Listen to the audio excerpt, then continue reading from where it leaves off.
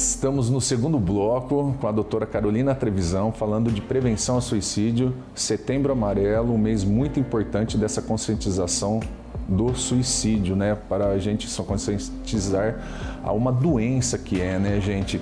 É, doutora, aquele ente querido, aquelas pessoas, aqueles familiares, o que, que eles podem ver? Qual que é a dica? Quais são os sinais que ele pode é, sentir ali naquele momento daquela pessoa?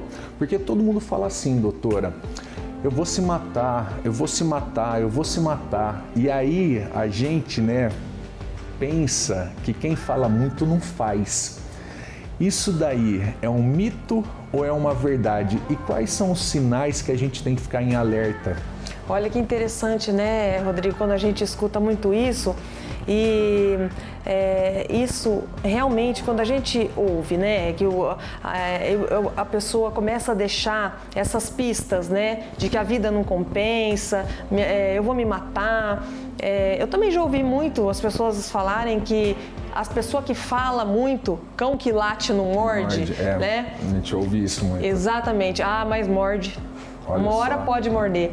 Então, é, por que, que eu estou explicando essa situação? Porque às vezes a pessoa começa sim deixar pista de que ela vai cometer um suicídio. Ela começa às vezes de fato avisar.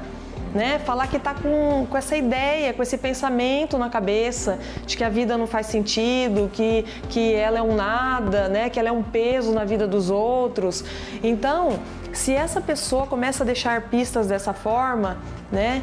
É, a gente não pode menosprezar o que, o que os sentimentos dos outros, né? Já então, é um então, sinal de alerta, então. Sim, é um sinal de alerta. Né? Se existe uma pessoa que começa a doar os pertences, deixar uma carta, um anúncio no Facebook, é, isso é muito importante tá? É, a ajuda começa de dentro de casa, dos, dos familiares, dos amigos. E como que essas pessoas que estão em volta, doutora, podem ajudar essa pessoa que já está dando esses sinais?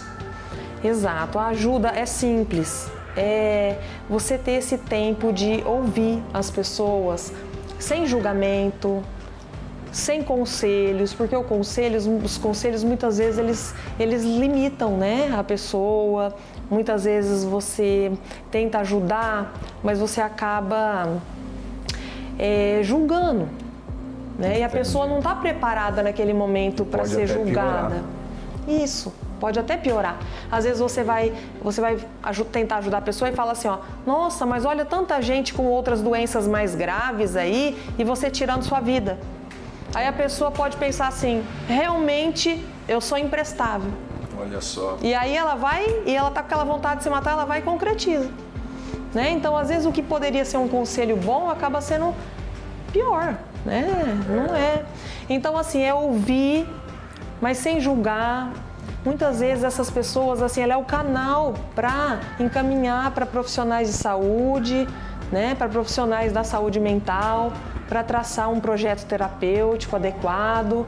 É, isso é, acho que é muito importante a gente bater nessa tecla, porque de repente, né, doutora, pensa que está ajudando e está piorando. Exato. O tratamento, como que começa um tratamento para aquela pessoa que está tendo esse transtorno de suicídio? O tratamento com a senhora que é uma especialista, o que que é? É remédio?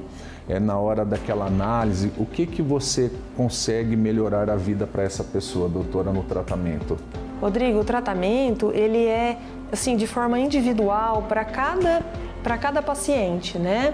É, é, então, assim, alguns precisam sim de medicação, de acompanhamento, né? Se, se existe um transtorno psiquiátrico, né? nem todos, né? Existem o transtorno, a maioria existe, mas é, esse, esse tratamento ele é um projeto terapêutico individualizado. Nos casos mais graves, talvez necessita de uma internação né? mas nem sempre isso é necessário.